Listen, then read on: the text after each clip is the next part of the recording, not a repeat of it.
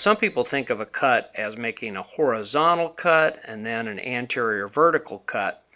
But what we're going to do with the reciprocating saw is make a more gentle S-shaped curve. And the initial cut at the top is actually going to be more in a downward direction than a lateral direction. So here we're starting the cut back into the retrolingular depression, keeping the saw relatively deep but above the inferior alveolar nerve. And now we're going to gently come down and parallel that outer cortex so that the proximal segment will essentially be the thickness of the lateral cortex of the ramus of the mandible. And here we're going to extend that cut down just paralleling the outer surface of the mandible.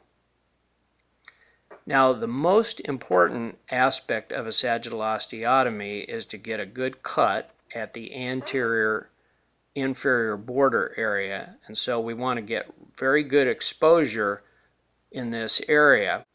And here we're placing the channel retractor subperiosteally, essentially near the posterior aspect of the antegonial notch. And sometimes if it's difficult to visualize this area, it helps to take the bite block out or pull it slightly forward so that the mouth will close a little bit, giving you a little bit more generous exposure to the anterior inferior border of the mandible. What we essentially want to do here is to again create a soft curve from the inferior border up the lateral aspect connecting it with the previous osteotomy. So we're creating some room with the channel retractor and we're starting the saw at the inferior border and we're cutting just through the lateral cortex to avoid damage to the nerve in this area and we're going to gently curve this back towards the inferior aspect of the vertical osteotomy that we previously created. And then it's often easier to connect these by coming back to the top and putting the saw in and moving from the top down.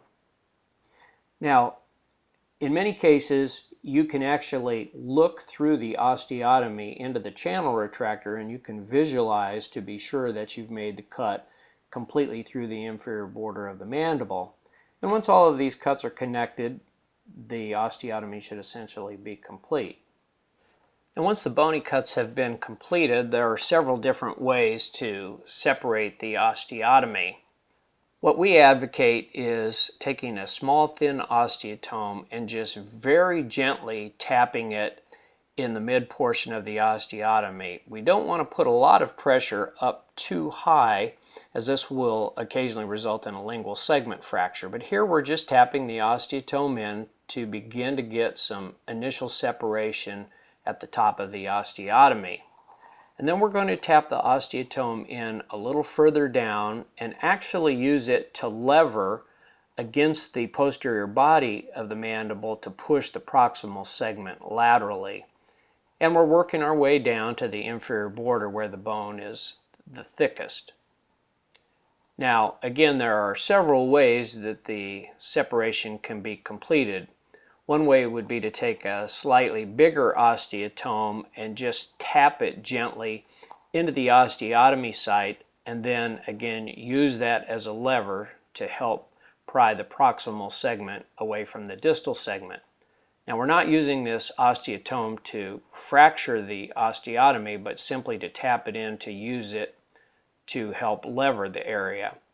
Here we're using a wedge and in the same fashion, we're just getting it into the osteotomy site at the inferior border where the bone is strongest, and we're moving the proximal segment laterally to get separation, and we're looking at the entire osteotomy site to make sure that the separation is going as planned. Now what sometimes happens, as you see here, is the inferior alveolar nerve will get hung up in the proximal segment. And to free that, uh, sometimes some bone can be removed with a rongeur, occasionally with a, an osteotome, and often just with an instrument like a Freer or a Woodson elevator. The bony shell over the inferior alveolar canal can be peeled off, and as you see here, we're just gradually teasing the nerve out of the canal, moving superiorly up the proximal segment until we have the uh, nerve completely freed and uh, removed from the proximal segment. Now we're going to put a J-stripper down into the area of the antegonial notch where the channel retractor was and we're going to move this superiorly to remove the posterior periosteal and muscular attachments as well as some of the medial pterygoid attachments and occasionally you'll see a small fragment of bone that uh, we're going to remove here.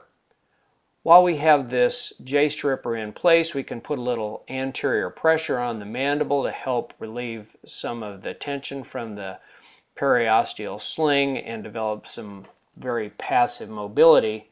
And we can also expose the anterior aspect of the distal segment and look all the way up to the superior segment to make sure that the split has occurred just as we have designed it. And then we're going to take the proximal segment. We want to manipulate it to make sure that we have good mobility. And this will also help us to develop a feel for the condylar position that is going to be important at the time that we seat the proximal segment for fixation. And here the patient's in maxillomandibular fixation and we're going to begin the rigid fixation using a technique involving three screws. Now when we make the stab incision, we want to place the scalpel blade through the skin and then we want to extend it an extra millimeter or two. If you make a true stab incision only the width of the scalpel blade, when you put the trocar in, the edge of the trocar will often tear or bruise up the margins of the small incision. We're going to push the trocar through and aim it slightly upward so that it'll be easy to identify the end, remove the obturator, and then place the cheek retractor. It should be done at an appropriate angle so that you have good retraction of soft tissue as well as good exposure to the entire lateral aspect of the ramus where the screws are going to be placed. Here we're going through the trocar and we're going to place two 2.0 millimeter holes in the lateral cortex. There are several methods for positioning the proximal segment and seating the condyle. The main objective is to get the condyle superiorly seated into the fossa.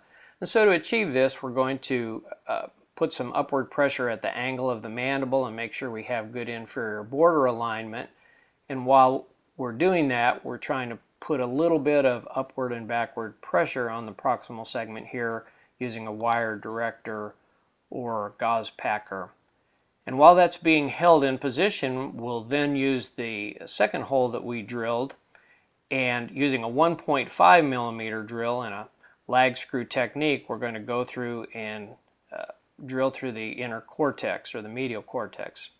And then we're going to place a screw and we'll talk about determining the depth uh, in just a minute, but for the purposes of the demonstration, we're using a 12 millimeter screw. And the main thing is to try to keep the angles all the same. So when you're drilling with the drill and then reinserting the screw and the screwdriver, the angle needs to be kept the same so that everything will maintain good alignment. The third screw we'll place will be a bicortical or a position screw. And so the holes drilled in both the outer cortex and the medial cortex will be done with a 1.5 millimeter drill so that when the screw is put in place it will actually engage both the lateral and the medial cortex. There are several different combinations of patterns that can be used. Here we've used three screws in a row at the superior border. You could do two at the superior border and one at the inferior border or an inverted L. The main thing is to find good bone thickness away from the dentition or the inferior alveolar nerve. And here you can see we're checking the stability of the fixation.